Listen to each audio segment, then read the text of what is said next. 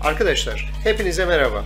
Twitter hesabımda takipçilerimden gelen hisse senetleri ve imtia taleplerine istinaden YouTube kanalımda grafik analiz eğitim videoları hazırlıyorum. Sizler de kanalıma destek vermek isterseniz abone olmayı ve beğeni bırakmayı unutmayınız. Arkadaşlar merhaba. Ee, şimdi sizlere bu haftanın ilk videosunda Trabzonspor'un grafik analizini yapacağım.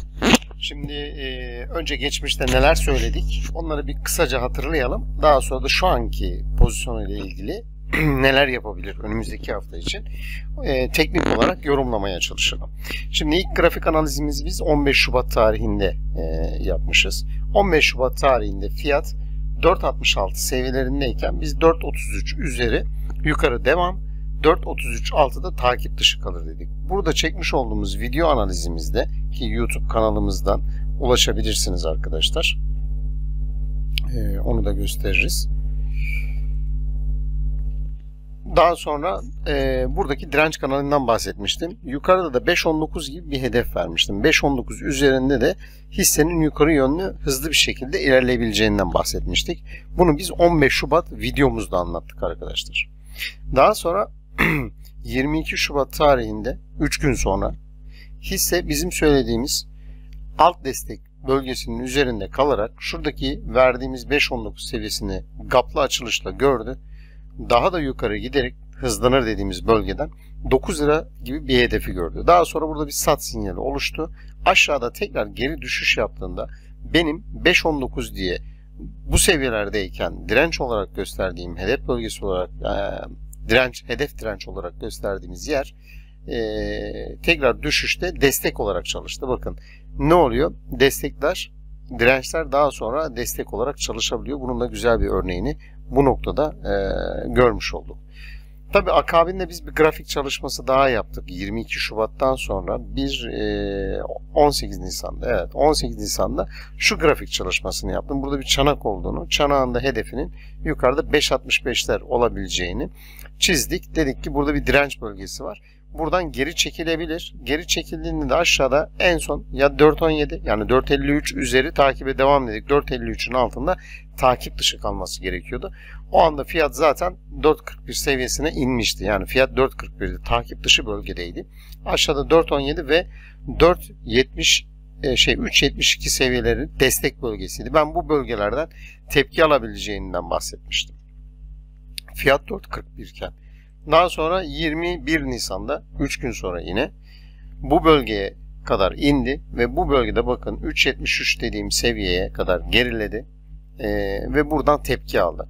Bu tepki aldıktan sonra bu grafiği çizdim ben. Dedim ki 4.53 üzeri takibe devam dedim. Yani burada bu oluşturmuş olduğum mumdan sonra fiyatın tekrar bu seviyelere kadar e, gelebileceği yani 5.65 seviyelerine kadar tekrardan burayı test edebileceğinden bahsetmiştik. Akabinde e, en sonda 3 Mayıs tarihinde çizmiş olduğumuz grafiğimizde bakın gördüğünüz gibi geldi 5.30 seviyelerine kadar yükselişini gösterdi. Yükselen tren çizgimizin üzerinde kalarak bu iç üçgen yapının, şuradaki üçgen yapının içinde kaldı. Burası da önemli direnç bölgemizdi. Ben 5.65'i tekrar deneyeceğini söylemiştim. Şimdi son güncel haline bakalım. Yani 3 Mayıs'ta 5.30 iken en son analizini yapmışız. Burası da zaten ilk yaptığımız analizlerde önemli direnç bölgesi olarak belirtmiştik biz burayı. Şimdi grafiğimize baktığımızda, orijinal grafiğimize baktığımızda orijinal, orijinal grafiğimizde yükselen tren çizgimiz bizim en son şu şekildeydi. Şu seviyedeydi. E, altına bir sarkma gerçekleştirmişti ve daha sonra üzerine çıkarak bu önemli direnç bölgesini gördü. Hatta ve hatta biz dedik ki bunun üzerinde yapacağı kapanışlarda yukarıda 6.70 e, direnç ana direnç bölgesini ulaşabileceğinden bahsetmiştim ama tabi e, şu bölgedeki direnci direnç bölgesini de atladık. Yani daha önce bakın şu seviyede oluşmuş olan bir direnç kanalı var. Yani bir subten bölgesi vardı. Bu bölgede yine aynı şekilde satıcıların burada bakın fiyat yükseldikten sonra şu bölgede tekrardan aktif hale gelip fiyatı aşağı doğru ittikleri ana bölge aslında burasıydı. Ana bölgelerden bir tanesi buydu. Yani şurası da direnç bölgesiydi. Ama asıl oluşumun, malın boşaltıldığı bölge bu seviyelerde başlamıştı. Aynı seviyede yine ne yapmışlar? Fiyatı aşağı doğru baskılanmışlar. Biz şimdi e, şunu demiştik. Demiştik ki aşağıda e, ki grafiklerimizde, bir önceki grafiklerimizde en son 3 e, Mayıs grafiğimizde hemen dönelim. Pardon hemen Evet 4.33 en son 4.53 evet 4.53 üzeri takibe devam diye bir takip bölgemiz vardı bizim. Şimdi 4.53 seviyesi şu seviyelerde. Şuralar aşağılarda kaldı. Ben şimdi onu 5.01'e e, çekiyorum. Neden? Çünkü artık yükselen trend çizgimiz şu bölgede kırıldı. Bakın ikinci bir yükselen trend çizgimiz var bizim şu seviyede. Tamam mı? Yani fiyatın en son oluştuğu bölge. Bir de bir de arkadaşlar bakın bu bölgeden tepki alıp da fiyatı yukarı doğru alıcıların gönderdiği bir bölge var. O da burası. Yani bu kanal. Burası aslında bir tepki kanalı ve e, bu kanal altında yapacağı kapanışlarda yani 5.0 kapanışlarda fiyat 4.53 seviyelerine kadar geri çekilme yapabilir. Tamam Buna dikkat edilmesinde önemli arz ediyorum. 5.01 önemli destek bölgelerinden bir tanesi. Şimdi haftalık olarak baktığım zaman haftalık mumuna haftalık mumunda bir önceki hafta bir spin mum formasyonu oluşturmuş. Bu haftada kapanışını bir önceki yüksek olan 5.37 seviyesinden 32 kademe aşağıda kapatarak bir önceki mumun altında kapatarak bir e, düşüş sinyali oluşturmaya başlamış. Şimdi stotastiğine baktığım zaman stokastik de burada bir yataya sarmış 50 seviyelerinde 50'nin üzerine çıkamadan e, daha sat sinyalini tam vermemiş statistik ama şurada e, ki mum formasyonu dikkatli ol mum formasyonlarından bir tanesi. Hareketli ortalamalarına baktığım zaman da 21 şey 9 haftalık hareketli ortalama bakın burada destek görevi görmüş. Yani demek ki 4.82 üzeri kapanış yapmadığı sürece tamam mı? E, herhangi bir sıkıntı yok. Bizim için ana aslında e, destek bölgesi 4.82 olarak bunu yenileyebiliriz arkadaşlar. Tamam şurayı 4.82 olarak 4.82 altı takip dışı kalır tamamen ise e, zaten ondan sonra düşüş şeyine girmiş olur. 4.82 altı günlük kapanışlar ta, haftalık kapanışlar pardon bu günlük değil bu haftalık haftalık kapanışlar. Yani orta uzun vade elinde tutanlar bu şekilde takip dışı bölgelerini 4.82 olarak belirleyebilir. 4.82'nin ee, altında da 4.53 desteği var ve 3.73 e, desteği halen aktif olarak çalışmakta. Trabzonspor bu şekilde. Ee, bir de günlükteki stotastiğine bakalım arkadaşlar ne durumda? Hani sat sinyali vermiş mi? Şöyle bakıyoruz. Evet bakın sat sinyalini aslında günlükte şu mumda vermiş arkadaşlar. Yani fiyat 5.22 seviyelerindeyken Trabzonspor'da geri çekilme e, olacağını burada şu mum hacimli satış mumunda zaten görebiliyoruz. Ee, burada da 21 günlük hareketli ortalama ne yapmış arkadaşlar? Destek olarak çalışmış. Ha, bu da önemli bir destek bölgesi. Yani 5.01 altında yaparsa, kapanış yaparsa bakın burayı iyi not alın. 5.01 altında kapanış yaparsa alt tepki alabileceği destek 4.82. 4.82'yi de kırarsa aşağıda tepki alacağı bölge 4.52-4.53 seviyeleri bizim tep, e, destek tepki bölgelerimiz. E, inşallah çok fazla çekilmez e, ve toparlar. Çünkü 4 saatliğine baktığımız zaman 4 saatliğinde stokastik büyük bir ihtimalle evet buralarda e, artık yavaşlamış. İşte yükselen trend çizgimize bakacağız. Burada da yine aynı şekilde. Ama e, günlükteki sat sinyali e, devam ediyor yani. Ona da bir bakalım şöyle e, günlükte. Evet bakın günlükte şu an bu seviyede bir e, short yani bir sat sinyali e, oluştuğunu söylüyor. Bakalım inşallah şu 5.01 altında kapanış yapmaz. Trabzonspor'la ilgili yapacağımız yorumlar bu kadardı. Yukarıdaki hedef bölge duruyor. Aşağı doğru çekilişlerde tepki alabileceği bölgeler duruyor. Çünkü burada bir harmonik formasyon yapabilir. Biz bunu kolluyoruz zaten. Ee, şu anda B ayağı oluşuyor formasyonun. X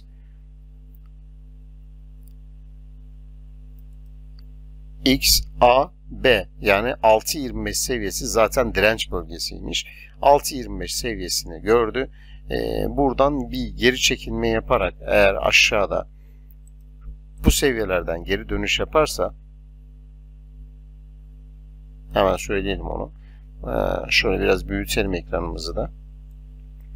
Aşağıda gelir 4.52 seviyesinden veya işte 3.48 e, pardon 4 seviyesinden tepki alıp buralardan e, tekrar yükselişe geçerse o zaman yukarıda biz bu kanalı işte hedef bölge olarak e, 7.39 seviyelerini tekrardan hedef bölge olarak belirleyebiliriz ama şu an için çok erken arkadaşlar tamam mı? Şu an için çok erken çünkü daha X, A, B ayağı oluşmuş. Önce C ayağının da oluşup ondan sonra yukarıdaki D ayağını net bir şekilde hedeflerinin neresi olabileceğini söyleyebiliriz. Trabzonspor ile ilgili yorumumuz bu kadardı. Bir sonraki hissemize geçiyoruz. Evet sevgili dostlar, e, ikinci hissemiz Arçelik grafiğini inceleyeceğiz. Arçelik grafiği ile de ilgili biz daha önce ne söyledik? Önce bir toparlayalım. Bayağıdır 2019'dan itibaren biz bunun e, grafik analizlerini çalışıyoruz ve hedef formasyonlarımız tutuyor. Ee, mesela şurada bir örnek gösterelim. Burada bir harmonik formasyonumuz vardı 17 liralar civarında. Yukarıda biz 17-18 lira fiyat vermiştik. Akabinde 18.44'ü e, görerek hedefine ulaşmıştı bu formasyonu tamamladıktan sonra gibi geçmişten günümüze Arçelik'le ilgili yapmış olduğumuz çalışmalar var. Şimdi 30 Nisan'da ben şöyle bir grafik çizmiştim. Fiyat 16-17 seviyelerindeyken 16-24 üzeri takibe devam dedim. 16-24 fiyat 16-17 yani aslında o anda fiyat takip bölgesinin dışında kalmıştı. E, altta da 16.01 yani şu seviye 16.01 seviyesiydi. 16.01 e, desteği altında yapacağı kapanışlarda buradaki destek bölgeleri çekilebileceğini bahsetmiştim. Bakın yükselen tren çizgisi 1, yükselen tren çizgisi 2. İki tane de yükselen tren çizgisi çekmiştim. Eğer 16.24 üzeri kalsaydı yukarıda 17.86 gibi bir hedefini bekliyordum ben bunu. Fakat o seviye üzerinde kapanamadı e, yükselen tren çizgileri üzerinde kalırsa sıkıntı yok dedik ama 16-24 üzeri takibe devam 6 takip dışı düzeltme yapar demiştim. Özellikle bunu belirttim. Ve akabinde 11 Mayıs tarihinde tekrar bir grafik çalışması yapıp burada ya daha doğrusu e, grafik çalışması yapı derken e, resimledim. Burada bakın 15-12 vermiş olduğum alt destek 15.07 idi. 15.07 desteğine kadar geri çekildi. Ee, dolayısıyla çekilme devam ediyordu. Burada bir harmonik formasyon oluşturmaya çalışıyor. Ben e, alttaki diğer desteği de 14.01. Şimdi son durumuna bakıyorum. Son durumuna bakıyorum. Nereye kadar gelmiş? 14.84 seviyesine kadar gelmiş. Güzel. Şimdi şu yazımızı buradan bir kaldıralım. Tamam mı? Yazımız tamamdır. Herhangi bir sıkıntı yok. Yukarıda vermiş olduğumuz e, eğer 16 e, 24 üzeri kalsaydı 17.87'ye gider dedik. Onu da kaldırdık. İptal oldu. Yukarıdan aşağıdan çektiğimiz yükselen tren çizgilerini kırdı. Ne demek oluyor? E, düşüşe devam edecek demek oluyor. Birinciyi kırdı. Geldi ikinciyi de kırdı mı? Bakın kırdıktan sonra ne yaptı? Yine aşağıya sarktı. Yani bu kırılımları yaptığı zaman aşağı yönlü düşüşünü devam ettirir. Şimdi burada e, biz şu çizim araçlarını tekrar kaldırıyorum. Tamam mı? Yeniden bir grafik analizi yapacağız bu bölgede. Şimdi önce bir yakın çalışma yapmak istiyorum. Yakın çalışmasında Fibonacci seviyemizi bir bakalım. Nedir ne değildir? Bu seviyeler bizim için geri dönüş seviyeleri mi? Evet. Ee, XA dedik. Pek sağlıklı bir formasyon yok burada. Hani benim gördüğüm bir sağlıklı formasyon e, oluşumu yok. Şurada bir hareket yapabilirmiş. Şu şekilde X, A, B, C, D şeklinde ama şuradaki e, Fibonacci seviyelerimiz tutmuyor. Dolayısıyla burada harmonikmiş gibi görünen ama aslında harmonik olmayan bir formasyon mevcut. Şimdi onu geçiyoruz. Onu geçiyoruz. Yukarıdan aşağı bir Fibonacci'mizi kullanalım. XA yaptık. Evet. Geldi. Bizim burada 16-12 ee, seviyesinin altında kapanış yaparak çekişini devam ettirdi. Şimdi biz şöyle yapalım. 16 şey 14 64 20 kademe var. 14 64 6 bu ise takip dışı kalır. düşüşünü devam ettirebilir. Neden böyle söyledik? Şuraya bir yatay çizgi atalım biz. Hatta tersten okuyalım Fibonacci'mizde. Evet. Bu seviyeden baktığımız zaman da ciddi anlamda zaten şurada kırılım yapmış. Yani 15.07 bizim alt desteğimiz o daha önce gösterdiğim destek kırılmış. Şimdi o zaman alt desteğimiz bizim burası. 14.54 seviyemiz. Tamam mı? 14.54'ten 14.54'ten veya gelip aşağıda 14.01 seviyelerinden geri dönüş yaparsa o zaman yukarıda biz şu şekilde şu kanalı bekleyebiliriz. Bakın 18 TL ana direnç bölgesi olarak bu kanalı bekleyebiliriz ama tabi burada da bir ne var? Gap bölgesi var. Burası da bir direnç bölgesi. Hani bunu da belirtelim. Burada bir harmonik formasyon bu şekilde oluşturma ihtimali söz konusu olabilir. Ama daha C ayağı tamamlanmamış. Şu anda X A tamamlanmış. Fakat ben daha yakın çalışmak istiyorum buna. Hani biraz daha uzak değil de daha yakın çalışmak istiyorum. Evet güzel. Harika. Evet inşallah umut ettiğim gibi e, benim şu iki destekten bir tanesi burası tepki bölgesi arkadaşlar. Tamam burayı da bir belirleyelim. Hisse bu bölgelerden tepki alabilme ihtimali yüksek. Tamam burası tepki bölgesi. Tepki bölgesi. Bu bölgeden tepki alması gerekiyor. Hani bu bölgeye iner mi ona da bakacağız şimdi. E, zaten çok az kalmış. Ne kadar kalmış? 14.52, 30 kademe gibi bir şey var. 30 kademe sonra bu kanal içerisine girip bu kanaldan tepki almalı arkadaşlar. Tepki almazsa aşağıda da tekrar dönüş yapacağı seviyeler e, şu bölgeler. Yine bu bölgelerden tepki alabilir. Burada güzel bir Gartley formasyon oluşumu olabilir. O yüzden e, benim hani daha önce çizdiğim bir grafik e, hisse senedi. Takip ettiğim bir hisse senedi. Arkadaşlar bu ara saat gece e, 3. Biraz konuşmalarım yavaş. Algım da azalmış galiba. o yüzden kusura bakmayın. Zaten bu videoyu çektikten sonra biraz ara vereceğim. Ondan sonra e, yarın artık devam ederim. Şimdi bakıyoruz arkadaşlar e, stotastiğine bakalım. Stotastik bakın aşırı alım böl satış bölgesine inmiş. Tamam mı? Aşırı satış bölgesinde. Tamam mı? Yani burada artık e, bir al sinyali oluşturursa hisse buradan tepki vermeye devam edecektir. Tepkiyi nasıl vermesi gerekiyor? Hani biz bu işte hisse döndü diyebilmemiz için bizim şu düşen trend çizgimizi kırmızı yapalım. Bu seviyenin üzerinde yapacağı kapanışlar tamam mı? Bu seviyenin üzerinde yapacağı kapanışlarda yukarı yönlü şu kanalları tekrardan test edecektir arkadaşlar. Alttan da aslında tekrardan şu şekilde bir trend kanalı çizelim. Aslında bu afaki bir trend kanalı ama birinci kanalımız burası.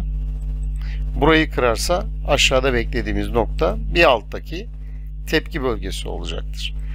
Bu, bu üçgenin içerisinde kaldığı sürece hiçbir sıkıntı olmaz. Buradan tekrar tepki alıp yukarı gidecektir. Haftalığına baktığımız zaman da haftalıkta da aslında şurada bakın statistik al sinyalini oluşturmuş. Daha sonra buraya kadar fiyatı taşıyıp burada bakın daha önce neden bu bölgede e, fiyat aşağı doğru baskılanmış? Çünkü daha önce bu bölge bakın hem direnç şöyle çizdiğim zaman bakın şu bölge yine fiyatı aşağı doğru göndermiş. Yukarı çıkmış direnç olan bölge destek olarak çalışmış. Kırmış tekrardan çok güçlü altında kapanış yapamamış. Yine bir destek noktası olarak çalışmış. Yukarı gitmiş gelmiş yine destek olarak çalışmış.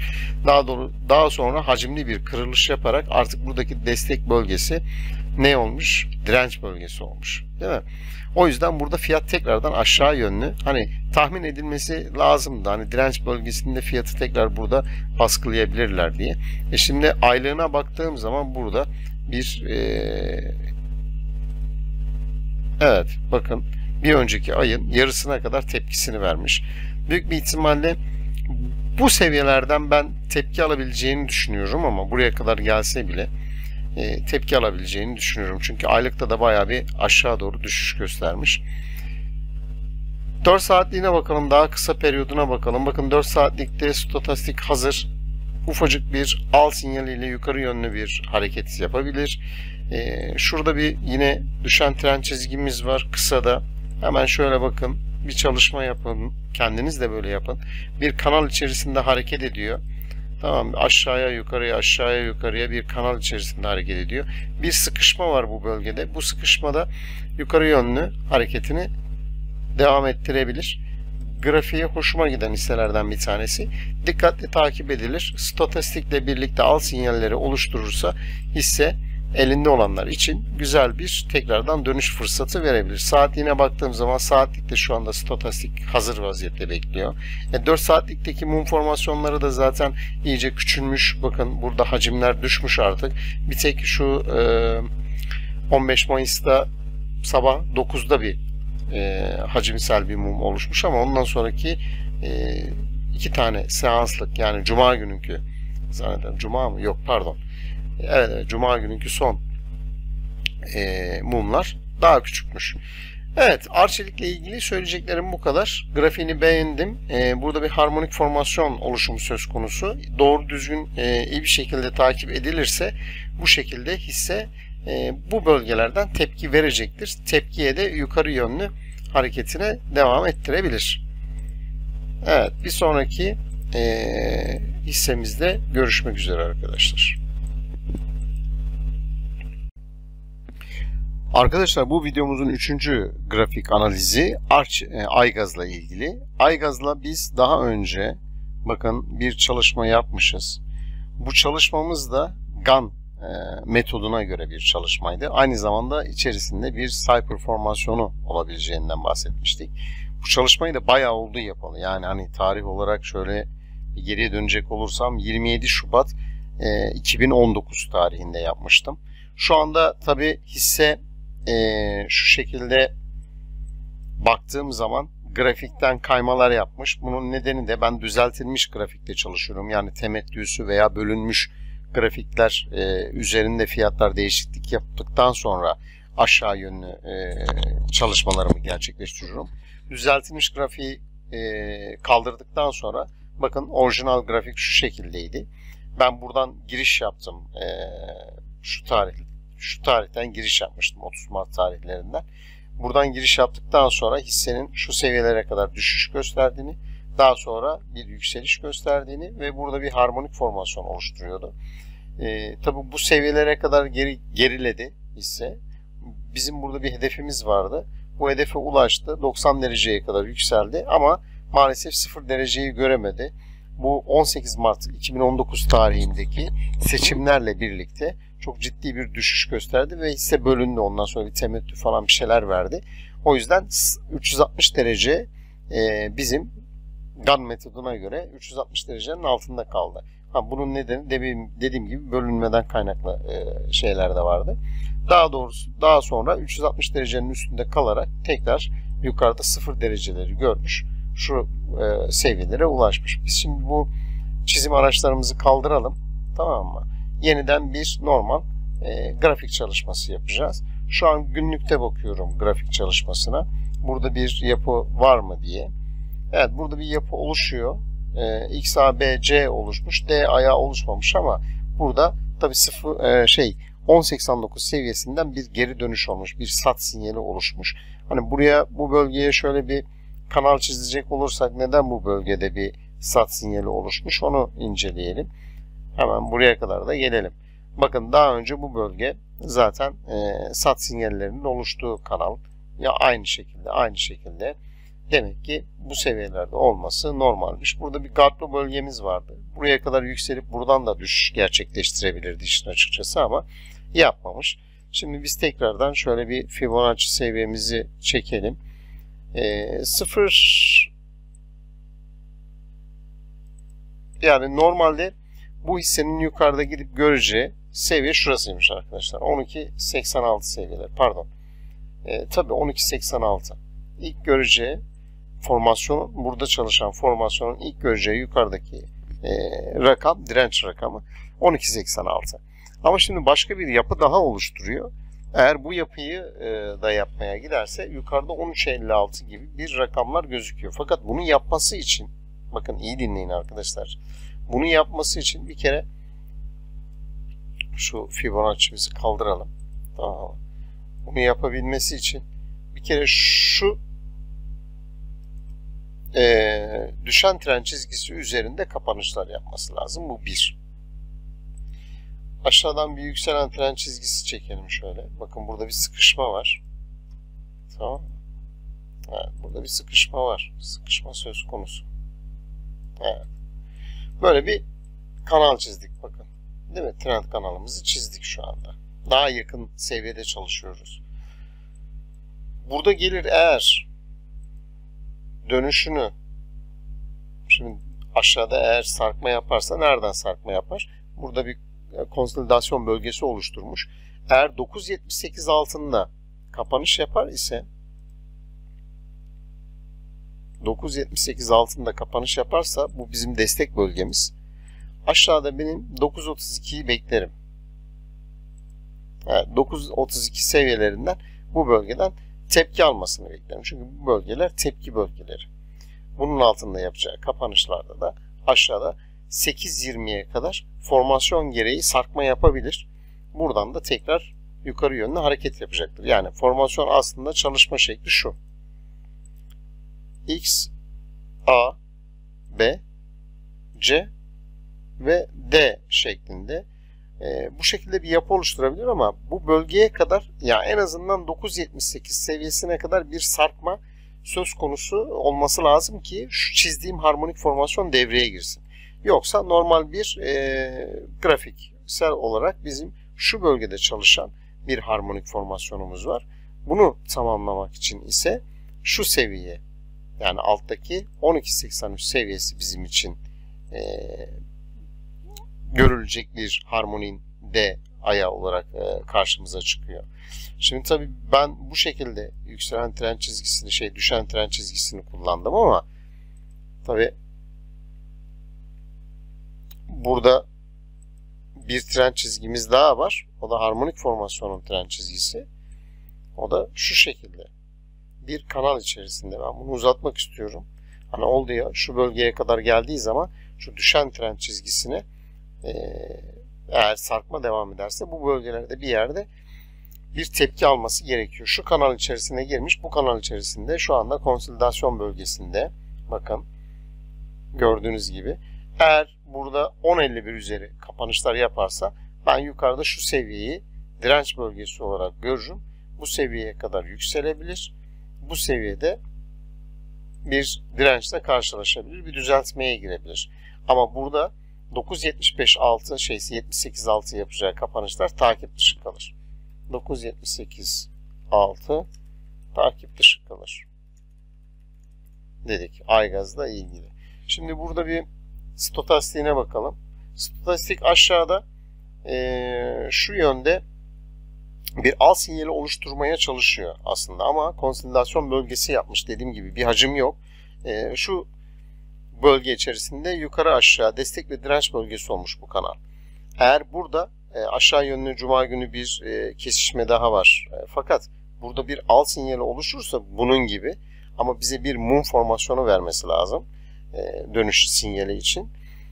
Bu şekilde bir oluşum o zaman yukarıdaki bu harmonik formasyon hedefini görmeye gidebilir. Ama yoksa aşağı doğru çekilip diğer harmonik formasyonumuzun hedefini görmek için yukarı yönlü bir hareket yapacaktır. Hareketli ortalamalarımıza baktığımız zaman ise evet bu seviye bakın önemli bir destek bölgesi. 10.06 ben bunu değiştiriyorum. 10.06 diye değiştiriyorum arkadaşlar.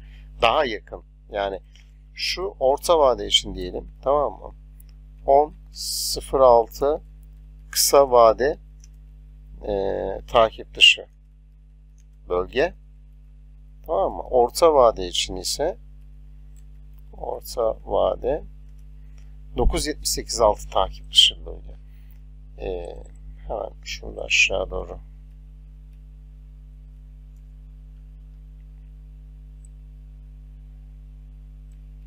Şöyle bir düzeltme yapmak istiyorum arkadaşlar. Neden bunu söylüyorum? Çünkü 10.06 yapacağı kapanışlarda arkadaşlar direkt olarak 9.78'e gelecek. E burada 30 kademe var. Yani 30 kademe az bir rakam değil. Dolayısıyla e, aşağıdaki tepki bölgesinden e, tekrardan takibe girilmeli. Yok burayı da kırarsa aşağıda zaten 932 var. E, yükselen trend çizgisi var burada. Yükselen trend çizgisini de kırmış oluyor. O yüzden tehlike çanları çalıyor ki buradaki günlükte hareketli ortalamaların altında kalmış. Bakın 200'ün altında, 100'ün altında, 50 günün altında, 9 ve 21 günün de altında. Yani hisse burada 10-21 üzeri kalır ise yukarıda göreceği hedef bölge 10.68 olur. Yani burada zaten dirençlerle karşılaşır yine aynı şekilde. Hareketli ortalamalarımız bizi yönlendirebilir. O yüzden konsolidasyon bölgesi bizim e, yatay e, dediğimiz bölgelerden. Dolayısıyla bu yatay bölge içerisinde kırılımı eğer aşağı yönlü yaparsa aşağı doğru devam eder hisse.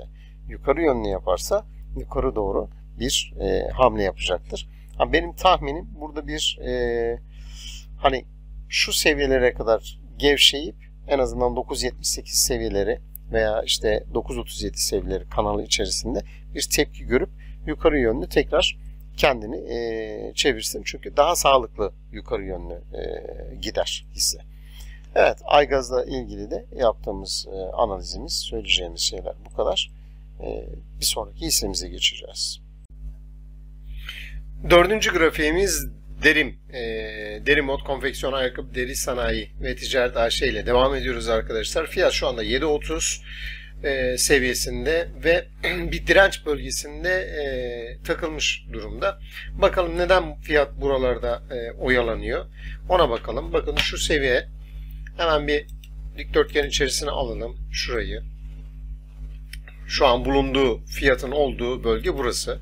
Daha önce fiyat bu seviyelere geldiğinde bakın burası direnç bölgesi olarak karşımıza çıkmış. 1 Şöyle biraz büyütelim. Daha net görürüz. 1 2 3 ve dördüncü de hacimli mumları yaparak buradan e, direnci kırarak yukarı yönlü hareket etmiş. Daha sonra devam etmiş, düşmüş. Bakın burada destek olmuş.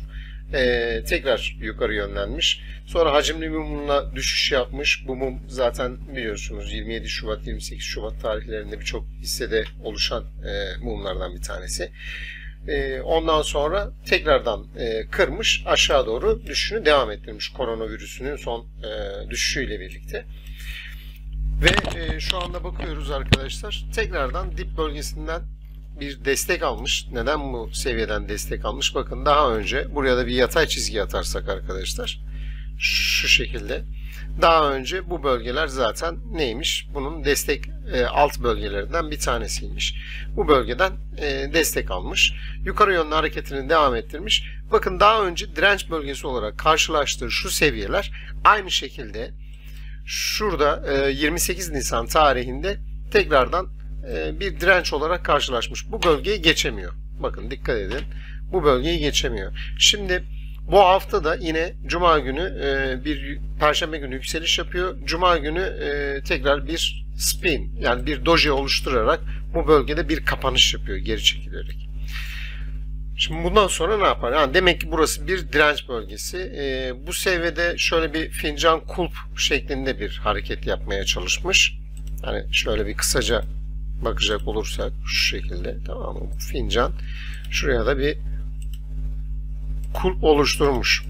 Eğer burada fiyat 7.50 seviyesi üzerinde 7.53 seviyesi üzerinde kalmayı başarırsa yukarıdaki buradaki e, direnç bölgesine doğru devam edecektir. Bakın şu seviyeye devam edecektir.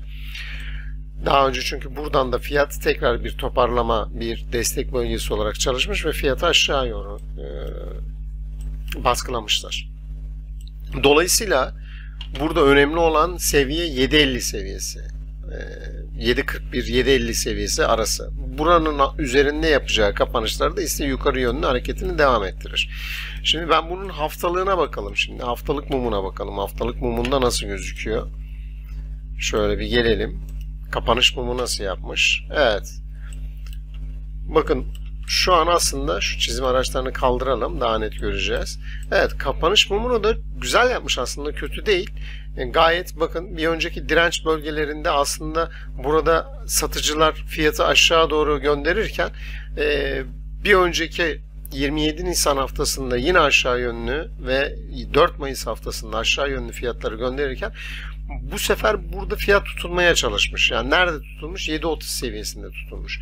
Ben burada 7.21.6 takip dışı nokta olarak belki belirleyebiliriz. Hani kısada bir takip dışı bölge belirleyeceksek geri çekilmede 7.05 bölgesi de aslında önemli bir takip dışı bölgelerden bir tanesi.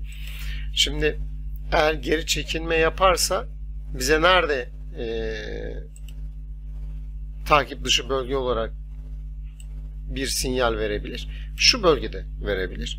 Hemen yukarı yönlü bir tren çizgisi de buradan çizelim arkadaşlar. Her zaman yaptığımız gibi şu seviye. Bu seviyenin altında yapacağı kapanışlarda değil mi? Burayı da yeşil yapalım. Deri modda bir geri çekilme olur. Burada bir harmonik formasyon mevcut mu? Hayır değil. Şu an herhangi bir harmonik formasyon oluşumu yok günlüğüne tekrar dönelim. Ha, bu ara haftalığında şeyine bakmak istiyorum. Osilatöre bakmak istiyorum. Şey indikatöre. Evet indikatör şu seviyelerde zaten al vermiş. Bakın bir tane hamile boğa e, tarzında bir mum formasyonu oluşmuş burada. Bir e, pin var. E, bir düşüş mumu hacimsel bir haftadan sonra daha sonra küçülmüş. Ondan sonra bir engulf tarzında bir mum olmuş. Ee, bir önceki mumu yutmuş. Bir doji yapmış. Ondan sonra zaten stokastikte burada al sinyali oluşturduktan sonra e, yönü yukarı çevirmiş. Şimdi bu saatten sonra e, günlüğüne bakalım. Günlükte bakın şu seviyelerde gördüğünüz gibi mumlar hemen tekrar bakalım. Burada mumlar zaten dönüş sinyalleri veriyor aşağı yönlü ve stokastik de buradan 80'in altına sarkarak hisseyi 7.35-7.50 seviyelerinden kaça kadar? 6.58'e kadar e, fiyat çekiliyor. Şimdi burada tekrar stokastik al sinyali oluşturmuş. Ne zaman oluşturmuş? 13 Mayıs tarihinde oluşturmuş. Yani bundan 3 gün önce Perşembe gününe mi denk geliyor? Öyle bir şey. Çarşamba ya da Perşembe günü iki tane doji yapıyor. Ee, bir inverter hammer yapıyor. Bir, iki tane doji yapıyor. Ondan sonra bir al sinyali geliyor ve fiyatı buraya kadar taşıyor. Şimdi yine direnç bölgesindeyiz arkadaşlar. Burası bizim direnç bölgemiz. Tamam mı? Şu alt tarafta bizim destek bölgemiz. Yani 7 05 705 6 kapanışlarda takip dışı kalır. 701 705 üzeri takibe devam. 705 şöyle hemen 705 üzeri takibe devam diyelim. Tamam mı arkadaşlar? Evet. Takip bölgemizi belirledik. Hemen altında eğer geri çekilme yaparsa ne yapabilir ona bakacağız. Şimdi önce bir Fibonacci seviyemizde nereden geri dönüş yapıyor onu bir görmemiz gerekiyor. Evet bakın 7 12 seviyesi. Fibonacci seviyemizde burası. Yani 7.05 7.0 şey 7.12 arası alt e, desteklere sarkarsa burada 6.08'e kadar şey e, 6.08 tabii 6.08'e kadar geri çekilme yaşayabilir. Fibonacci'mizi doğru oturtturduk mu? Evet. Aynen bu şekilde oturtturduk bir alt desteğimiz eğer kırılma gerçekleşirse burada ben şu seviyeyi pardon tekrar yenileyeceğiz. Fibonacci'mizi farklı bir açıdan bakacağız. Evet. 7.06 bizim alt destek bölgemiz 7.05. Bu seviyenin altında yapacağı kapanışlarda arkadaşlar şöyle yapalım bir e, alt desteği 5.75 onun altındaki destek ise şu seviyelere kadar eğer geri çekilirse bu bölgeler tepki bölgesi olarak karşımıza çıkacak tamam mı? Oldu ya işte elimizde bu bölgede takip dışı bölge dediğimiz 7.05 kanalın altında yapacağı kapanışlarda hisse aşağı yönlü çekilmesine devam edecektir. Şimdi hareketli ortalamalarına bakalım. Hareketli ortalamalar ne söylüyor? Evet hareketli ortalamalar 6.78 altında. Ee, 6.78 seviyesine de destek e, bölgesi olabilir. Burada 9 günlük hareketli ortalama bakın yine bizim 7.05 dediğimiz destek bölgesi. Yani geri çekilirse bu noktadan tepki e, alması lazım. Eğer tepki alamazsa bir aşağıda işte 6.73 6.78 seviyeleri onun altında 6.29 ve en aşağıda e, daha güvenli bölge dediğimiz 200 günlük hareketli ortalamanın olduğu yer 5.76. Bakın Fibonacci seviyemizde de zaten örtüşüyor. Yani Fibonacci'yi çektik biz daha önce bu hareketli ortalamayı görmeden. Burada bir destek bölgesi var. Yeşil kanala attım ve hareketli ortalamaları açtıktan sonra da 200 günlük hareketli ortalamada burada bize destek olarak görünüyor. Şimdi peki bu hafta hacimli bir mum kapanışı yapmış dedik. Hani daha önce buralarda dirençle karşılaştı. Eğer 7.43, 7.44 üzeri yapacağı kapanışlarda buraya da bir şey yapalım. Tamam mı? 7.43 üzeri yapacağı kapanışlarda yukarıda takip bölgesi olarak ilk, ilk direnç bölgesi olarak karşılaşacağı yeri biz e, Fibonacci seviyemizle belirleyecek olursak yukarıda 8 şöyle 8-16 seviyesi ilk direnç bölgesi olarak karşımıza çıkar. Burası bizim direnç bölgesi. 8-16 olması lazım. Onu değiştirelim koordinatlarından. Evet. İlk de, e, direnç bölgemiz bizim burası olacaktır. Onun üzerinde de şu seviyeler 9-13 seviyeleri direnç olarak karşılaşacak. Peki 4 saatlikteki durumuna bakacak olursak 4 saatlikteki hareketli ortalamalar ve e, stotastiğe baktığımızda evet burada bir al sinyalini şu seviyelerde dojileri oluşturarak devam ettiriyor. Fiyatı yukarı taşıyor. Kanal içerisine tekrar giriyor. E, dolayısıyla desayl şey derimle ilgili söyleyeceklerim bu kadar. Buradaki destek ve direnç bölgelerini takip ederseniz herhangi bir sıkıntı olmaz arkadaşlar. Bakın çok güzel yerde al vermiş günlükte görüyor musunuz? 26 Mart'ta şu seviyede al sinyal oluşturduktan sonra bayağı yukarı yönlü bir hareket yapmış. Saatliğine bakıyoruz. Saatlikte de en son ne zaman al sinyalini oluşturmuş? Şu seviyelerde 7.30 seviyelerinde hemen hemen aynı bölgede oluşturmuş ama tabi dediğim gibi hareketli ortalamalar bizim için önemli. Şu an üzerinde pozitif bölgede ama altına doğru kapanışlar yapmaya başladığı zaman dikkatli olmakta fayda var. Evet derimle ilgili de söyleyeceklerimiz bu kadar. Teşekkürler. Yeni grafik hissemiz ÖzgeYO arkadaşlar. ÖzgeYO ile ilgili biz daha önce 5 Nisan 26 Nisan tarihlerinde e, grafik çalışmalarını yapmışız. Son grafik çalışmalarını ve YouTube kanalımızda da bunu yayınlamışız.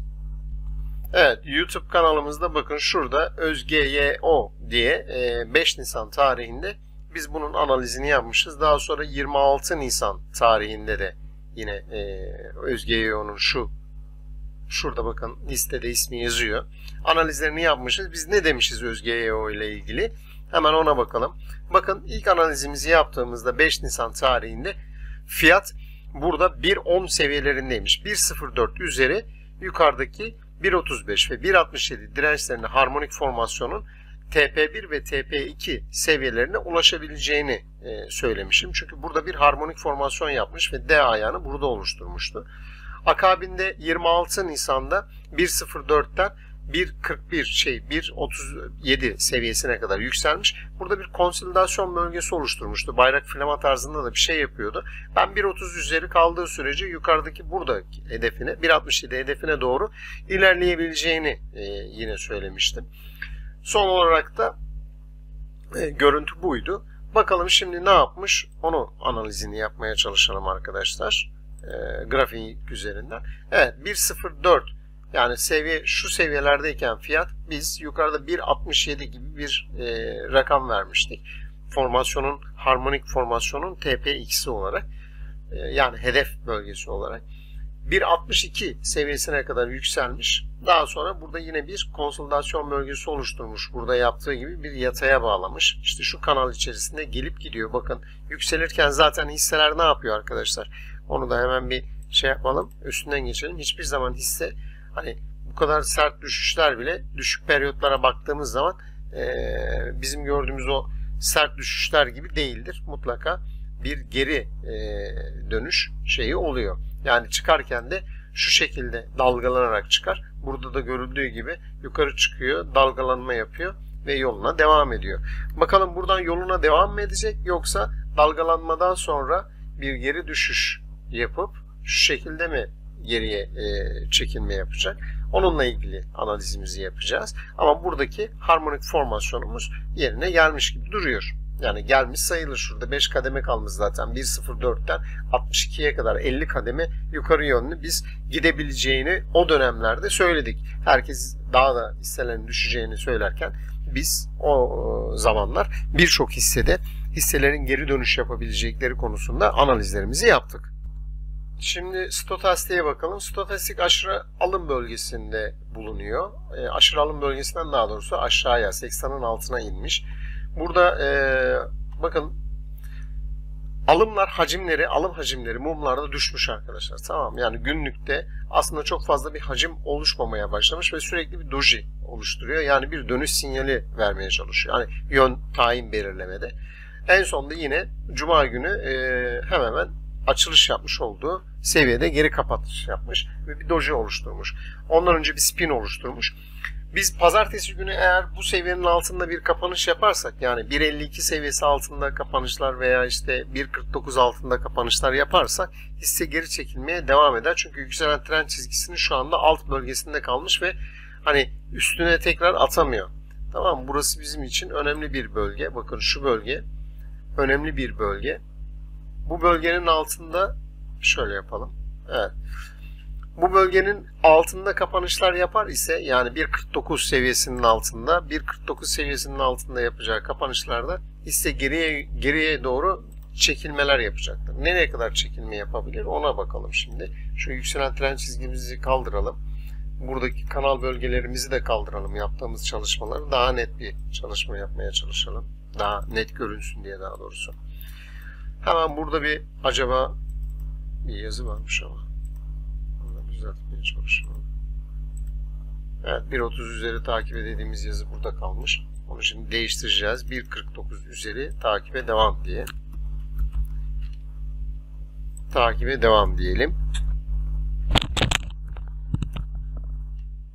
Evet. Hani burada bir harmonik oluşturmaya çalışıyorum onu görmeye çalışıyorum ama yani tam bir harmonik formasyon yok şu seviyede hani dalgalanmada. Fakat buradaki dalgalanmanın bir harmonik formasyonunu oluşturabilir. Başka bir harmonik formasyonunu ona bakacağım. Evet, şu an 1.52 seviyesi üzerinde, direnç üzerinde kalmış. Tamam mı? Yani düşüşün %50'sini almış vaziyette e, şu anda. O yüzden 1.49 bizim için önemli bir rakam. 1.49 üzeri biz takibe devam diyoruz. Eğer geri çekilme yaparsa da geri çekilme alt destek bölgelerini şimdi belirleyeceğiz. Şuraları bir gerekiyor. Bunlar artık geçti. Bu seviyelerimizi. En sonuncusu hariç diğerleri kalsın. Şöyle biraz büyütelim. Evet. Geri dönüş seviyesi olarak da ben hani 1.52'nin altında ilk vuracağı yer 1.43 seviyeleri olarak görüyorum. Ama benim için önemli olan 1.49 seviyesi de önemli bir destek hattı. Şurası 1.32 alt destek bölgemiz. Tepki vereceği bölge. Tamam mı? Ya 1.43 ya 1.32 seviyelerinden destek alabilir.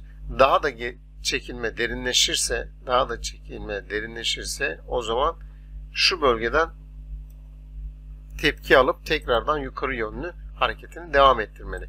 Geri çekilme yaparsa diye bahsediyoruz. Zaten yukarıda 1.67 gibi bizim bir e, belirtmiş olduğumuz formasyonun TP'si vardı. Şu kanal içerisinde hareket ediyor. Burayı kırarsa bu bayrak nerede başlıyor? Burada başlıyor.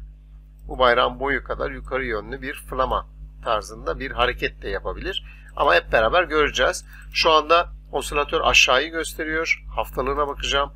Haftalıkta al sinyalleri hala yukarı yönlü devam ediyor ama bakın burada daha önce satıcılar dirençle karşılaştırmış. Aynı. Evet aynı bölgelerde bir dirençle karşılaşmış. Ee, ne zaman? 23 Aralık. Evet 30 Aralık seviyelerinde. Bakın satıcılar bu bölgede aynı hareketleri yapmaya çalışıyorlar. Mum formasyonlarına bakacak olursanız buralarda satıcılar fiyatları aşağı baskılıyor. Önümüzdeki hafta önemli. 1.49 altında takip dışı kalır dedik. Haftalık olarak baktık. 4 saatliğine bakalım. 4 saatliğinde yani stokastik bize al sinyali oluşturmuş ama dediğim gibi hani hacim düşmüş. Formasyonları bize dönüş sinyalleriyle ilgili hani dikkatli olun sinyalleri veriyor. O yüzden dikkatli olmakta fayda var. Ee, hemen saatliğine de bir bakalım. Hareketli ortalamalarımızı da açalım. Evet hareketli ortalamalarımız şu anda birleşmiş vaziyette. Aşağıda 1.46'da 200 saatliğimiz var. 4 saatliğine baktığımız zaman 4 saatlikte 9 ve 21 seanslık üste kalmış. Bu iyi bir şey değil arkadaşlar. 1.48, 1.49 bakın aşağıda 50 günlük hareketli ortalama var. Dolayısıyla bizim belirlediğimiz 49 seviyesi önemli destek bölgelerinden biri. Onun için onun altına sarkma yaparsa aşağı çekilme devam edecektir.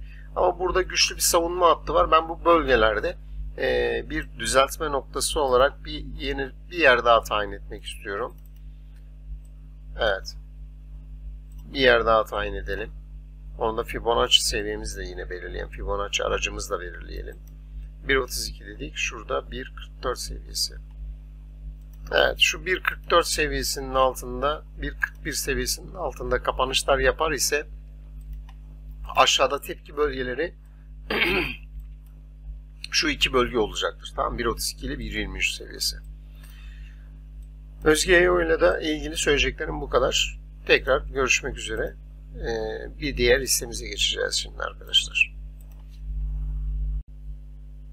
Halk Gayrimenkul Yatırım Ortaklığı'yla devam ediyoruz. Bu hisse sorulmuş. Hisse e, hangi tarihte? 18 Mart tarihinde şu oluşturmuş olduğu engulf mumla birlikte yukarı yönlü bir hareket sinyali vermiş. Daha sonra bir spin oluşmuş. Üzerinde yaptığı kapanışla ise yukarı yönlü şöyle bir trend kanalı oluşturmuş arkadaşlar. Bakın bu bir trend kanalı. Tamam mı? Bunu siz de çizebilirsiniz. Yükselen trend kanalını çok güzel bir şekilde bakın.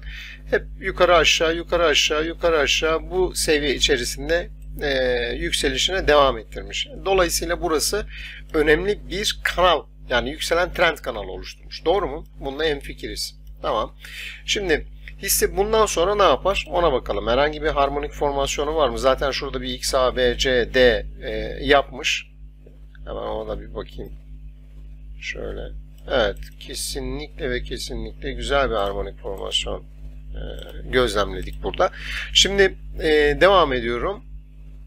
Dip, tepe, bir üstteki tepeden Fibonacci'mi kullandığım zaman şu an hani hangi bölgede dirençle karşılaşıyor? Neden bu bölgede e, satıcılar baskı altında tutmuşlar fiyatı? Ona bakıyoruz. Bakın bu seviye daha önceki destek seviyeleri. Bakın her zaman yaptığımız şeyi yapıyoruz. Bu bölgeye bir kanal çiziyorum. Daha önce satıcılar burada. Bakın direnç olarak karşısına çıkmış. Daha sonra kırmış bu direnci. Sonra destek olmuş. Destek olmuş. Desteği kırmış. Bu bölgede e, tekrar hacimli bir mumla yukarı yönlü devam etmiş. Destek tekrar hacimli mumla aşağı doğru kırılmış. Ve aynı bölgede bir dirençle karşılaşıyor. Yani satıcılar burada fiyatı aslında her seferinde daha önce 15 Ocak 2020 tarihinden 29 Ocak yani Şubat başına kadar nasıl baskıladıysa daha sonra 24 Şubat'ta baskıladıysa şu anda da aynı şekilde Mayıs ayında da bu bölgede fiyat baskılanıyor. En son oluşturduğu mum formasyonu bir e, doji. Doji'den sonra yukarıda bir kapanış ama yine aşağı doğru e, açılışını yukarıda yapıp aşağı doğru kapatmış. Burada bir Fibonacci seviyemizin 7.48 şey 1.48 seviyesini üzerinde kapanış yapamamış Cuma günü. Yapmış olsaydı 1.48 üzerinde burayı hacimli mumlarla tekrardan denemeye çalışabilirdi arkadaşlar. Sizin takip edeceğiniz bölge şu e, kanal içi olacak. Kanal içini bu seviyede de kırılışını yaparsa bakın 1.42 altı takip dışı ise 1.42 altı takip dışı üzeri takibe devam. Tamam, takip dışı kalır. Üzeri takibe devam diyoruz. Çünkü geri çekilme yapar ise şayet geri çekilme yapar ise aşağıda ben şu seviyeleri 1.33 seviyeleri destek bölgesi veya 1.25 seviyesini de destek bölgesi olarak e, kendime belirlerim. Oralara geldiği zaman tepki bölgesi olarak buralardan e, tekrardan takip etmeye başlarım. Hani e, ben bu hisseyi takip ediyor olsaydım. Dolayısıyla ELGY ile ilgili şu an için söyleyeceğimiz konular bu. Ha, yukarı devam ederse ne olur? 1.42 üzerinde tekrardan şu kanalı 1.53 kanalının üzerinde kapanış yapması lazım ki bu seviyeleri tekrardan test etsin. Şimdilik söyleyeceklerim bu kadar. Evet uzun zamandır Ostim'e bakmamıştık. Ostim, Ostim, Ostim, Ostim Endüstriyel Yatırımlar ve İşletme AŞ arkadaşlar.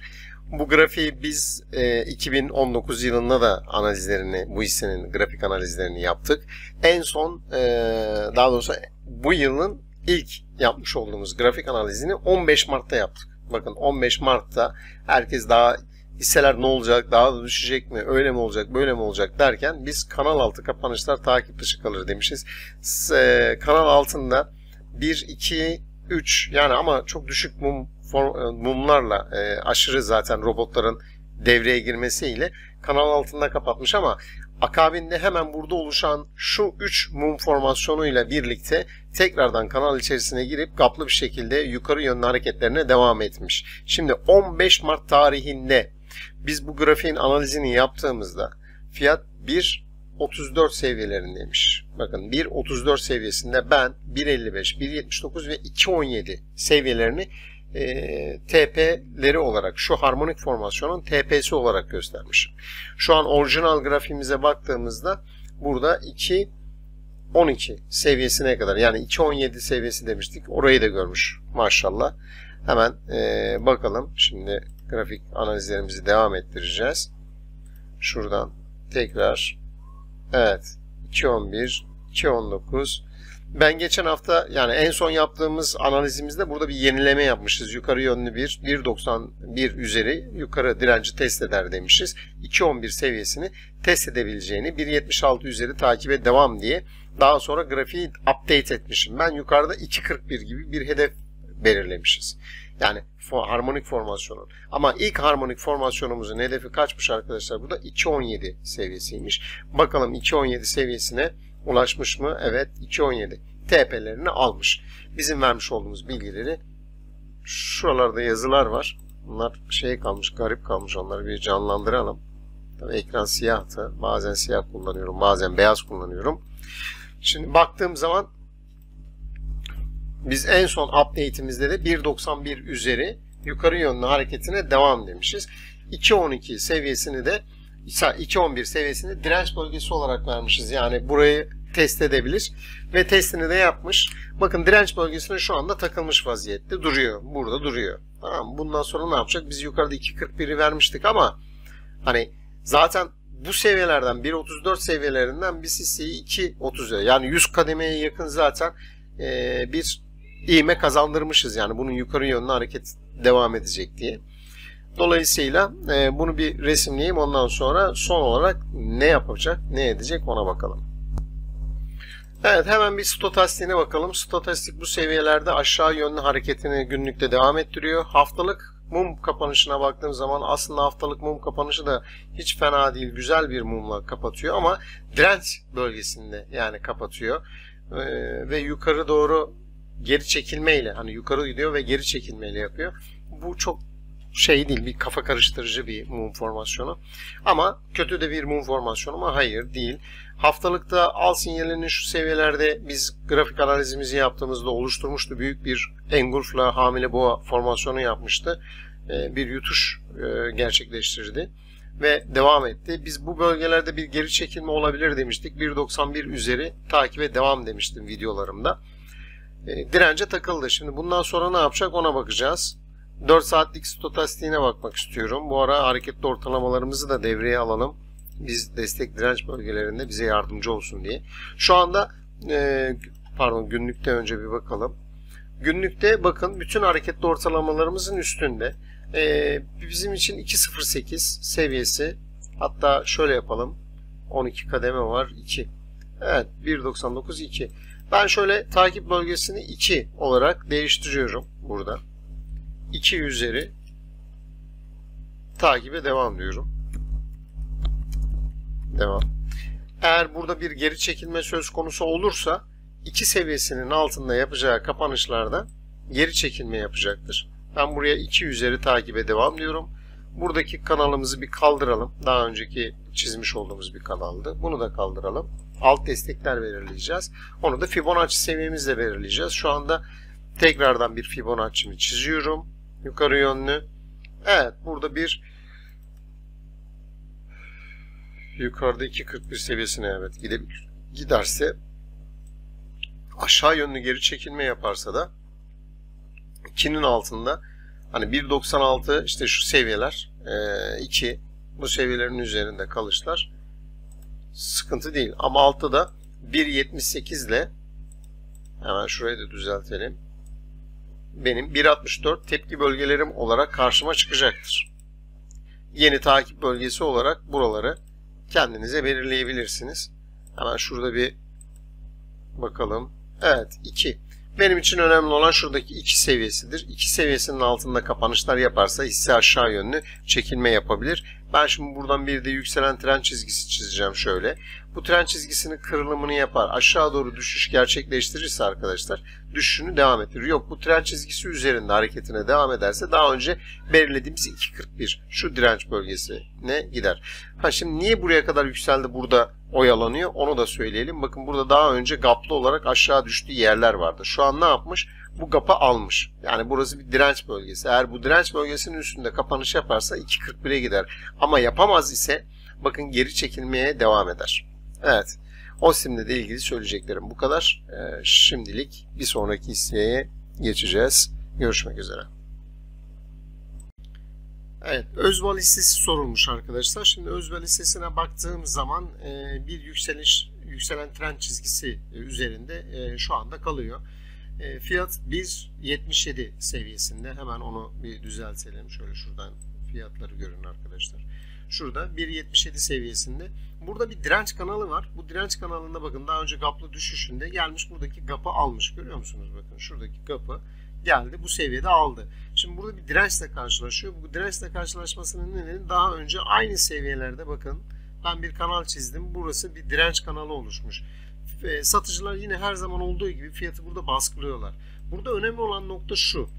Eğer direnç kanalı üzerinde yani 1.89 üzerinde kapanışlar yapar ise hani şu seviyenin üzerinde hatta şöyle yapalım direnç kanalımızı biraz daha aşağı doğru çekmek istiyorum. 1.85 üzeri 1.85 üzeri arkadaşlar. Yukarı yönlü burası bir direnç kanalının çizgisidir. 1.85 üzeri kapanış yaparsa yukarıda 2 lirayı test eder. Ama 1.85'in altında baskılanır. Devam ederse burada bakın 9 günlük hareketli ortalama ve 100 günlük hareketli ortalama ile 21 günlük hareketli ortalama birbirlerine çok yanaşmışlar. Dolayısıyla bu noktada eğer bir e, şu seviyelerin altında kapanış yaparsa 1.72'nin altında zaten aşağıda benim çizmiş olduğum bakın şurada 1.68 seviyesi var. 1.68 seviyesinin altında takip dışı kalır. 1.68 altı üstü takibe devam diyelim. Üstü üstü takibe devam. Altı takip dışı. Tamam mı arkadaşlar? Üstü takibe devam. Çünkü niye? burada bu kırılımı yaparsa zaten yükselen tren çizgisini de kırmış oluyor. Yani şu seviyede bakın tren çizgisini kırıyor ve şuradaki e, daha önce direnç bölgesi yani oluşturmuş olduğu konsolidasyon bölgesinin de altında kapanış yapıyor ve tepki bölgesi olarak bu seviyeye daha önce gaplı olarak düşüş yaptığı seviyeye geri çekilebilir. Bunun altına geri çekilirse, çekilirse de en son ben 1.33 seviyelerinden tepki görebilir diye düşünüyorum. Ha, burada biz ne yaptık şimdi? ikili bir e, yöntem uyguladık. Bir, yukarı 1.85 üzeri kapanış yaparsa gidebileceği yer burası. 1.85'in altında geri çekilmelerine devam eder. 1.68'e kadar çekilirse burada bir tepkiyle karşılaşsın. Bir tepkiyle karşılaşmazsa 1.68'in altında zaten yükselen trend çizgisini kırmış olur. Çekilme aşağı doğru devam eder arkadaşlar. Tamam Bakın hareketli ortalamaların pozisyonlarını gördünüz. Zaten stokastik de şu anda hani bir al bir sat sinyali e, oluşturuyor sürekli bir düzensizlik var. O yüzden her an e, dikkatli olmanızda fayda var. Burada takip edeceğiniz nokta bakın şu yükselen trend çizgisi 1, 2 buradaki hareketli ortalama var. Bunların altında kapanış yaparsa tereddüt etmeden takip dışı hisse kalması gerekir. Çünkü geri çekilme devam edecektir. E, burada bir harmonik formasyon oluşumu yok olsa e, şey e, oluşmaya başlamış. X, A, B ayağı oluşmuş ama C ve D ayakları şu anda oluşmuş vaziyette değil arkadaşlar.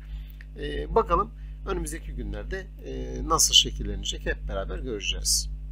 Özbal'la ilgili söyleyeceklerim bu kadar. Evet, marka hissesinin analizini yapacağız. Marka Yatırım Holding AŞ. Marka Yatırım Holding AŞ'yi ben 1 Mart tarihinde analizini yapmışım arkadaşlar. 1 Mart tarihinde ee, güzel de bir analiz yapmışım. Sevdiğim analizlerden bir tanesi ortaya çıkmış. Şu. Ben o tarihlerde şöyle bir grafik. Hatta grafiği açalım. Hatta şöyle yapalım. Pardon. YouTube kanalımda bakın. YouTube kanalımda arkadaşlar. Şu videolar kısmına tıklarsanız kanalım burası Serkan Çadırcı. Videolar kısmına tıklarsanız burada 1 Mart 1 Mart'ta yapmış olduğum analiz var. Bakın marka ismi yazıyor zaten. Marka, İpek, Bak bunların hepsi yukarı yönlü hareket yaptı. Çok güzel bir analizdi bu video. Bu videoyu izlemenizi tavsiye ederim. 1 Mart tarihinde markanın marka için şunu demişim. Fiyat 1.25. Diyorum ki düşüşe devam edebilir. Buradan da yukarı yönlü devam etse 2.44 hedefi olacaktır.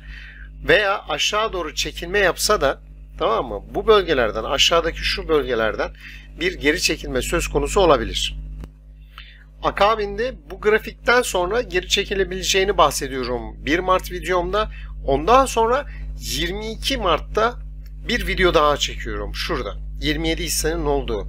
22 Mart'ta da çektiğim videoda geri çekilmenin bakın buradan buraya doğru hemen bakalım 22 Mart video şeyimize resmimize. 22 Mart'ta da 1.25'ten fiyat bakın arkadaşlar 0 70 seviyesine kadar neredeyse hani pardon ee, Evet 0.70 seviyesine kadar düşmüş ve ben 0.70'e bir yatay çizgi atarak arkadaşlar hissenin 1.13 üzeri takibinin devam edilmesi gerektiğini bu seviyede tekrar üzerine basarak anlatmışım. Yani 1, 21 Mart'ta bir de 22 Mart'ta ben bu iki hisseyi çizdiğimde İlk çizdiğimde aşağı doğru düşebilir. Buradan tepki alabilir. Tepki e, bölgesi olarak bu kanalı çizmişim. Formasyonun bozulmayacağını. Buradan da yukarı yönlü hareket yapabileceğinden bahsetmişiz. Daha sonra en son olarak da şu an artık e, orijinal grafiğimize döndüğümüzde bakın fiyatın bu seviyelerden tekrardan 1.42 seviyelerine kadar yükseldiğini, 1.43 seviyelerine kadar yükseldiğini görüyoruz. Bu formasyonda bir bozulma var mı? Hayır. Harmonik formasyonumuzda herhangi bir bozulmamız yok. Şu kanalı kaldıralım çünkü artık dönüş yerini belirlemiş. Bu seviyeler dönüş yapması gerekiyordu. Diğer iki videoyu izlerseniz benim ne demek istediğimi daha iyi anlayacaksınız. Çok detaya girmeyeceğim arkadaşlar. Burada e, şu anda bir e, Fibonacci seviyemize bakalım. Hani yukarıdaki hedeflerinde bir değişiklik var mı? Yok. Hemen mi gidecek? Hayır. Harmonik formasyonlar günlükte çizilmiş. Bunun sürmesi birkaç ayda alabilir. 5-6 ayda alabilir. Şimdi baktığım zaman bir düşen trend çizgisi çizdim. Şu seviyede. Hop pardon bunu kaldırmam gerekiyor. Bunu da kaldıralım tekrardan. Bir Fibonacci ile bir bakmam gerekiyor. Nereye kadar yükselmiş diye düşüşten sonra. Evet. Şu an e, 1.45 seviyesine kadar yükselmiş. Bu bölgede bir e, dirençle karşılaşmış. Bizim için önemli olan burada takip noktası bölgemizi biz 1.13 seviyesinden 1.13 seviyesinden 1.22'ye taşıyacağız arkadaşlar. Tamam 1.22 üzeri takibe devam diyoruz. Bu şekilde takip bölgemizi devam ettiriyoruz. Formasyonumuzda, harmonik formasyonumuzda herhangi bir bozulma yok. 1.22 seviyesine de şu yatayımızı da çekelim. 1.21, 1.22. Evet. Şöyle 1.22 seviyesine çekelim. 1.22'nin altı yapacağı kapanışlarda aşağı doğru çekilme devam edecektir. Bir yükselen tren çizgimizi belirleyelim arkadaşlar. Devam edelim. Hisseyi doğru yerde doğru bir şekilde takip ederseniz tepki bölgelerinden tekrardan girme ihtimaliniz olabilir. Ben aşağıda belirtmiş olduğum destek noktaları yani bu kanal içleri, yeşil kanal içleri hissenin düşüşlerde tepki alıp tekrardan yukarı yönlü hareket edebileceği bölgelerdir veya attığım yatay çizgiler. Takip dışı dediğim bölgeler o bölgelerin kırıldıktan sonra ciddi bir şekilde aşağı yönlü düşüşünün gerçekleşeceği bölgelerdir.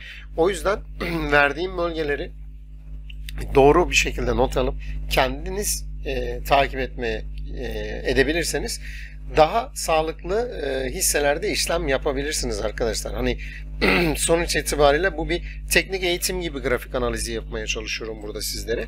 Şimdi hareketli ortalamalarımız stotastiğimize bakalım. Stotastik burada zaten sat sinyalini oluşturmuş ve aşağı yönlü kafayı çevirmiş. Haftalığına bakalım.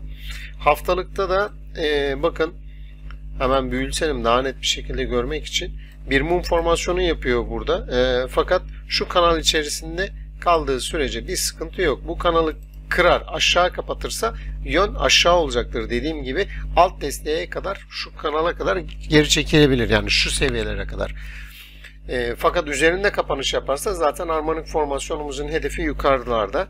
E, ona göre hareket edersiniz. Statistik haftalıkta da yataya bağlamış. Sat sinyali oluşursa önümüzdeki hafta bu seviyenin altında düzeltme devam edecektir. X, A, B, C, D Bu kısada oluşturabileceği bir harmonik formasyon olabilir. Şu şekilde. Onu da çizelim. X, A, B, C, D şeklinde bu bölgede bir harmonik formasyon oluşturabilir. Onun için de dikkatli olmanız lazım. Yükselen trend çizgisini takip edin arkadaşlar. Yükselen trend çizgisi aşağı yönlü kırılmadığı sürece sıkıntı yok. Ama aşağı yönlü bu kanalın altına kırılırsa düşüş devam edecektir. Markayla da ilgili söyleyeceklerim bu kadar. Ee, tekrar görüşmek üzere. Bir sonraki hisseye geçiyoruz. Metro yatırım ortaklığı ile ilgili e, daha önce bir analiz gerçekleştirmiştik. Fakat bölünme olduktan sonra bölünme mi oldu? Bir şeyler oldu. E, tekrar rica edildi. Fiyatlarda bir değişiklik mi oldu acaba? Evet şöyle bakıyorum. E, Nisan ayında bir çalışma yapmışız şurada. E, fiyat o zamanlar 2.91 seviyelerindeyken şöyle bir Cyper formasyonu olabilir demişiz. Daha sonra bir üçgen oluşturmuş 3.16 üzeri takibe devam demişiz. Ondan sonra 3.19 üzeri takibe devam noktasına e, söylemişiz. Sonra ne olmuş? Şu an bakalım 3.27'miş. Orijinal grafiğimize baktığımızda 2.31'e düşmüş. Demek ki buralarda bir fiyatlarda bir değişiklik mi olmuş ne olmuş anlamadım yani çok fazla. Neyse biz geri tekrar e, grafiğimizi çizdik. Şu anda ona bakacağız. Şimdi günlükte baktığımız zaman arkadaşlar günlükte hissenin analizini yaptığımızda önce haftalıkta şöyle bir kısa bir yorum yapmak istiyorum. Hisse şu bölgede bakın burada bir düşüş gerçekleştiriyor zaten hani yukarı yönlü pardon düşüşte e, dip seviyelerden yukarı yönlü bir hareket yapıyor yapıyor geliyor. Burada 2.07'yi görüyor. Ne zaman? 2018 yıllarına. Daha sonra sert bir düşüş gerçekleştiriyor. Bu fiyat 57 kuruşlara kadar hissenin fiyatı düşüyor. Tabi bu bölgede bakın bu şu son bölgede 18 Haziran şey 2018 Haziran ayından itibaren e, 28 Ekim 29 Ekim işte 4 Kasım 2019 tarihine kadar hisse toplanıyor. Burada hisseyi topluyorlar çok güzel. Ondan sonra hisseyi kaldırıyorlar. Tekrardan e, 5.35 seviyelerine ulaştıktan sonra hisse sert bir şekilde düşüşünü devam ettiriyor. Yapmış olduğu burada yükselişin 786 seviyesine kadar geri düşüşünü e, gerçekleştiriyor. Şimdi haftalıkta böyle bir durum var. Biz stotastimizi bir açalım. Stotastik bakın diplerde. E, eğer burada bir al sinyali oluşturursa hacimli bir mumla şu üçgenin yukarısında bakın burada bir direnç var. 2.98 direnci var. Bu 2.98 direncini kırar ise yukarıda 3.86 gibi bir e, harmonik formasyonun bir hedefi olabilir. Tamam mı? Burada bir hedef belirledim ben. Onu neye göre belirledim? Çünkü burada bir harmonik formasyon var. Tekniğe göre e, çizdik onu. Altta da bakın 1.74 seviyesi alt destek seviyesi. 1.74'ün altına kırarsa 1.25 seviyelerinden tepki alması gerekir. Yani tepki alabileceği bölgeler. Burası yukarıda da ilk etapta karşılaşacağı direnç bölgesi şurası. Bakın 2.46. Tamam 2.46 üzeri ben burayı hemen yenileyeyim. 46 dedik. Pardon 46 değilmiş. Evet 41. 41 seviyesi. Bunu da kırmızı yapalım. Evet. İlk direnç bölgesi 2.42 seviyesi. 2.42 üzerinde kapanış yapar ise bu benim söylemiş olduğum yukarıdaki destek noktalarına gidecektir. Ama 2 altında yapacağı kapanışlarda da hisse geriye doğru çekilişlerine devam edebilir arkadaşlar. O yüzden bu kanal önemli bir e, kanal. Yukarıda daha önce bakın bir e, aşağıda bir gap oluşturmuş. Bir şekilde bir geri çekilme yapar ise kanalın alt desteklerinde şuralardan 1.74 1.74 seviyelerinden tekrardan tepki alma olasılığı e, yüksek. Şu anda bir üçgen içerisinde hareket ediyor. Bu üçgeni eğer yukarı yönünü kırarsa ben e, hissenin zaten yukarı gideceğini söylüyoruz. Aşağı gelirse de bu bölgelerden tepki alıp tekrardan yukarı yönlü hareketini devam ettirecektir. Stokastin haftalıkta baktık dediğim gibi diplerde. Günlükte bakıyorum şimdi. E, günlükte oluşturduğu mum pek güzel bir mum değil. Yukarıda bakın günlükte şu seviyede al seviyesi oluşturmuş bir doji yapmış. Doji'den sonra bir mum oluşturarak bu ise e, şu seviyede ne zaman 12 Mayıs tarihinde yukarı doğru bir iğme yapacağını bize zaten söylemiş.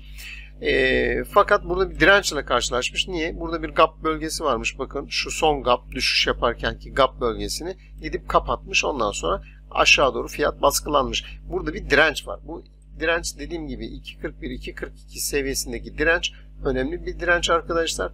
Bu direnç seviyesi üzerinde kalırsa hisse yukarı yönlü devam edecek. Yoksa kanalın bu alt kısmına doğru e, bir çekilme yapabilir. Kısa da biz günlükte şöyle bir kanal daha çizelim buraya.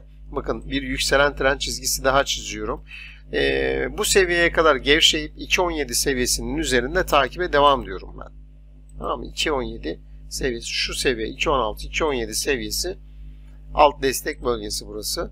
Ben burayı 2.17 üzeri takibe devam diye değiştiriyorum. 2.17 üzeri takibe devam. Çünkü 2.17 altında takibe devam. E, altında kapanış yapar ise ise aşağıda bu destek noktalarına çekilecektir. Bu destek noktalarından da tepki almasını e, öngörebiliriz. Şu an için hissede aslında şöyle bir yapı da oluşuyor. Hani günlüğe baktığım zaman burada bir harmonik formasyon da söz konusu oluyor. X, A, B aslında çok güzel gelmiş ama şu şurayı bir kırarsa yukarıda ilk kısadaki harmonik formasyonun hedefini ben size söyleyeceğim şimdi. 3.52. Evet 3.52 seviyesi de yine bir harmonik formasyon şu şekilde oluşturabilir. X, A, B hatta şu seviyelere kadar geri çekilme yapabilir arkadaşlar. Hiç sorun değil. Bu seviyeye kadar bile gelse önemli değil. Bizim buradaki 3.52 hedefine ulaşacaktır. Ben böyle bir grafik çizeyim. Bir dursun bu kenarda. Hani geri çekilme de yapabilir. O geri çekilmeyi de şöyle belirtelim. Buraya kadar geri çekilse de şu seviyelere kadar. Tamam mı? Bizim harmonik formasyonumuzu bozmaz arkadaşlar. Tekrardan yukarıda şuradaki hedefine doğru D hedefine doğru ilerlemeye devam edecektir. Metro yatırımla ilgili e, hareketli ortalamalarımıza bakalım. Hareketli ortalamalarımız evet bakın burada direnç olarak karşımıza çıkmış. Bakın 100 günlük ve 50 günlük günlükte şu bölgede direnç olmuş. Gelmiş aynı seviyede yine direnç olmuş. Altta dediğim gibi bu bölgenin altında kapanış yaparsa bakın hareketli ortalamaların altında kalmış oluyor. Çekilmeyi şu seviyelere kadar gerçekleştirebilir. Yani bu seviyelere kadar geri çekilse buradan tepki alırsa o zaman burada bir harmonik formasyon yapıyor. Dipten sonraki düzeltmesini hedefi de e, bu seviyeler yani 3.55 seviyeleri 3.50 e, 3.55 seviyeleridir. Umarım anlatabilmişimdir. E, bu şekilde hisseyi takip ederseniz e, sevinirim. Notlarınızı alın. E, bu videomuz burada bitti. E, videomuza beğeni bırakmayı, paylaşmayı unutmayınız. Kanalımıza destek olunuz arkadaşlar. Görüşmek üzere bir sonraki videomuzda.